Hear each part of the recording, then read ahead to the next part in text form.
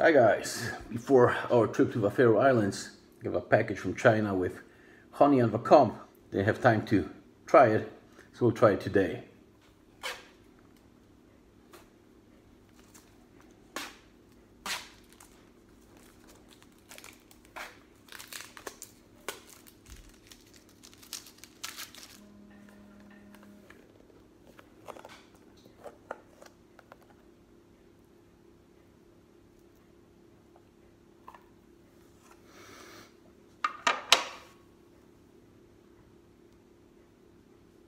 Let's see how this tastes.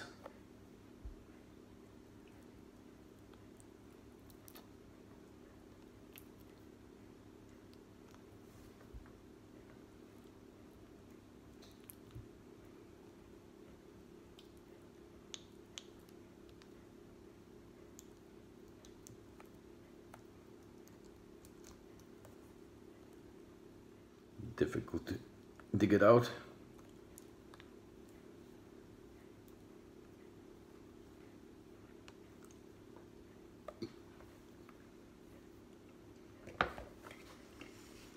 Mmm, it's a true childhood taste. Exactly as I remember it when my grandfather had beehives. Really, really good. So I can really recommend this.